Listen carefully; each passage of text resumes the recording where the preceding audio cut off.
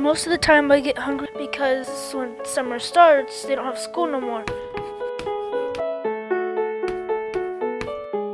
The kids that have parents that can't feed them when the summer starts, um, that's not rare like people think it is.